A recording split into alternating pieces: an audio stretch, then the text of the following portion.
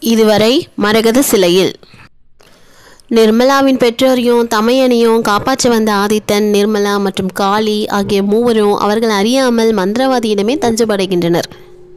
மந்திரவாதி நீலகேசி அவர்கள் அசந்து உறங்கும்போது அவர்களுக்கு தெரியாமல் நிர்மலாவை தூக்கி சென்று கா- காட்டின் ஒரு புறத்தில் போட்டுவிட்டு ஒரு மாயா மோகினியை ஆதித்தனுடன் நிர்மலாவாக உருமாற்றி அனுப்பி வைக்கிறான். நிர்மலா உருவத்தில் இருந்த மாயா மோகினி ஆதித்தன் நிர்மலாவின் மீது வெறுப்பு கொள்ளும்படி நடந்து அவர்கள் இருவரையும் பிரித்து விடுகிறாள். மந்திரவாதி மகளான நாகநந்தினி ரூபமதி என்ற பெண்ணாக உருமாறி ஆதித்தன் மற்றும் குள்ளனுடன் இணைந்து கொண்டு ஆதித்தனை தன் வசமாக்க முயற்சிக்கிறார் ஆனால் அவளுடன் கருத்து வேறுபாடு ஏற்பட்டு ஆதித்தன் அவளை தன்னை விட்டு போகும்படி கூறிவிடுகிறான். பின் அவர்கள் பயணத்தின் போது ஆதித்தன் குடிக்கும் ஓடை நீரில் யாரும் அறியாமல் ஒரு மந்திர பொடியை கலந்து விடுகிறாள் நாகநந்தினி. இனி. அங்கிருந்து சென்ற ஆதித்தனோ குள்ளனோ ஒரு குன்றின் மீது ஏறுகின்றனர். திடீரென்று என்ன இது? இந்த குன்று இப்படி நடுங்குகின்றது? நிலநடுக்கமா? ஐயோ மலையே பயங்கரமாக குலுங்கி குமுறுகிறதே. பூகம்பமா எரிமலையா? நிற்கவும் முடியவில்லையே. என்கிறான் ஆதித்தன். அப்போது அந்த குன்று பிளக்க அதன் உள்ளிருந்து அரக்கன் ஒருவன் தோன்றுகிறான். குன்று பிளந்த அதிர்ச்சியில் ஆதித்தனும் குள்ளனும் ஆளுக்கு ஒரு பக்கங்களாய் சென்று விழுகின்றனர். இதில் ஆதித்தனின் வாள் சற்று தள்ளி விழுந்து விடுகிறது. உடனே காளி ஆதித்தா சீக்கிரம் உன் உடைவாளை எடுத்துக்கொள்! என்கிறான். மானிட பயல்களே என் எல்லைக்குள் வந்து உயிரோடு தப்பிவிட முடியுமா? இதோ என்று தன் ஆயுதத்தை உயர்த்தி தாக்க வருகிறான் அரக்கன். அப்போது ஆதித்தன் காளியிடம் காளி என் கண்கள் இருண்டு வருகின்றன. கத்தியை தூக்கவே சக்தி இல்லை. என் வலிமையெல்லாம் எங்கே போயிற்று? என்று தடுமாறுகிறான். அதே சமயம் அரக்கன் தன் ஆயுதத்தை உயர்த்தி தாக்க துள்ளி விலகுகிறான் ஆதித்தன். நல்ல வேலை தப்பினான் ஆதித்தன். அவன் வீரம் எங்கே? வலுவிழந்து போய்விட்டானே. ஏன்? என்று குழம்பி திகைக்கிறான் காளி. அரக்கன் ஆதித்தனை தாக்க மறுபடி தன் கதாயுதத்தை உயர்த்திய போது குள்ளன் அவன் காலில் தன் வாளினால் குத்த அரக்கனின் இலக்கு தவறுகிறது. என்னை குத்துபவனும் இருக்கிறானா? என்று குள்ளனை பார்த்து ஏளனமாக நகைக்கிறான் அரக்கன். அதே சமயம் அவன் முன் மாயா மோகினி தோன்றி என்னை தெரியவில்லையா மலை விழுங்கி? நான் தான் நாகநந்தினி. என் தந்தையை பகைத்துக் கொண்டாய் உன்னை குன்றாக்கினார். இப்போது என் மந்திர சக்தியால் நான் தான் உனக்கு விடுதலை அளித்தேன். அந்த அரசகுமாரனை கொல்லாதே. அவன் குடித்த ஓடை நீரில் மந்திர பொடியை கலந்து அவன் பலத்தையெல்லாம் பறித்து விட்டேன். இப்போது அவன் உனக்கு இணையல்ல. அவனை உன் கோட்டையில் சிறைவை என்று கூறுகிறாள். இதனால் தன் தோள்களில் நாகநந்தினியை தூக்கிக் கொண்டு தெம்பிழந்து கிடக்கும் ஆதித்தனை இழுத்து கொண்டு சென்ற மலை விழுங்கி தன் வெண்கல கோட்டையில் உள்ள பாதாள சிறையில் ஆதித்தனை சிறை வைத்தாள். அதே சமயம் கோட்டைக்கு வெளியே ஆதித்தன் தவறவிட்ட மந்திரவாளை எடுத்துக்கொண்டு உதவி தேடி செல்கிறான் குள்ளன்.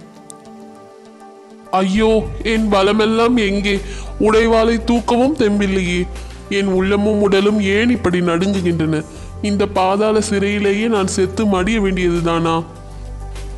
என்று கலங்கி குழம்பி தவிக்கிறான் ஆதித்தன்.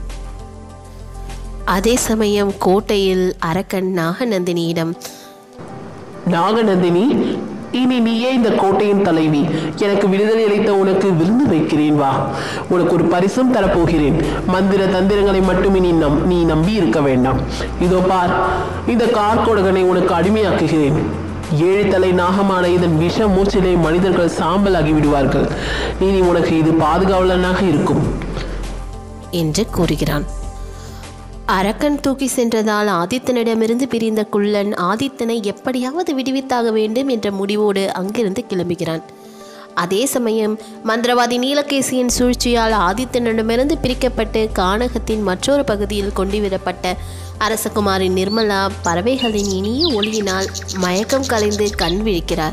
தான் தனியே இருப்பதைக் காண்டு தவித்து போகிறாள். நேற்று நான் படுத்து தூங்கிய இடம் இதுவல்ல. இங்கு ஆள் அறவமே காணோமே.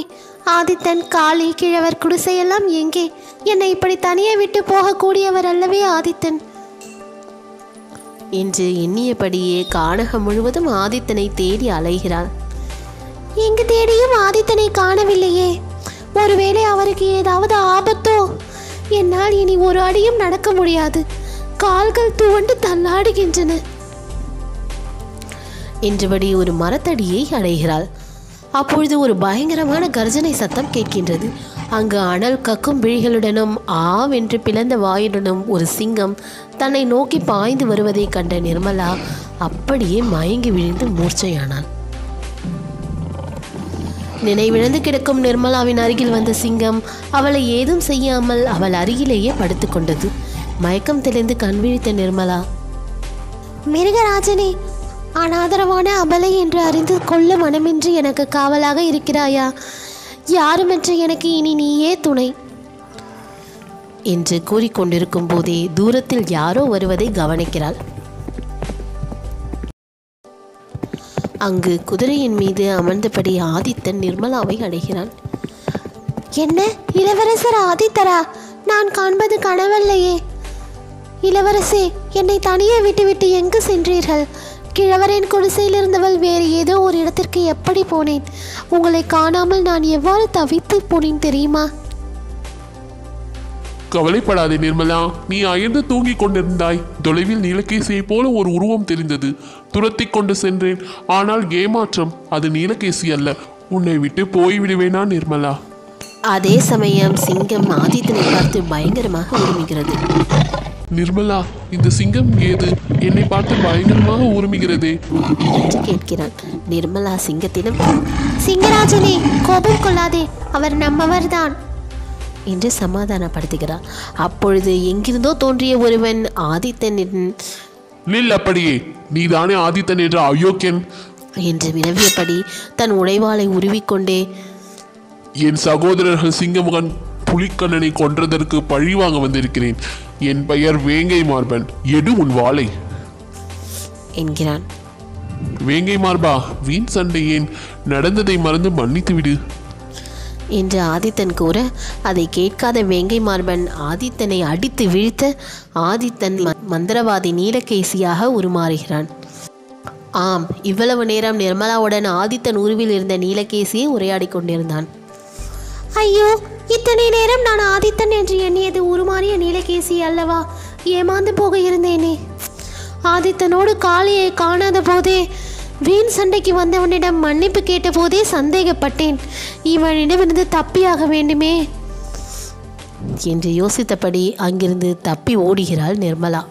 ஐயா நாகநந்தினியின் உத்தரவுப்படி நான் நடந்து கொண்டேன். உங்கள் உருமாற்றம் வேறு என்னை ஏமாற்றி விட்டது மன்னிக்க வேண்டும். என்று கூறியபடி மந்திரவாதியின் காலில் விழுகிறான் வேங்கை மார்பன். முட்டாளே என் திட்டத்தை எல்லாம் தரைமட்டமாக்கி விட்டாய் சூசகமாக நான் அறிவித்தும் தெரிந்து கொள்ளாத மழையா?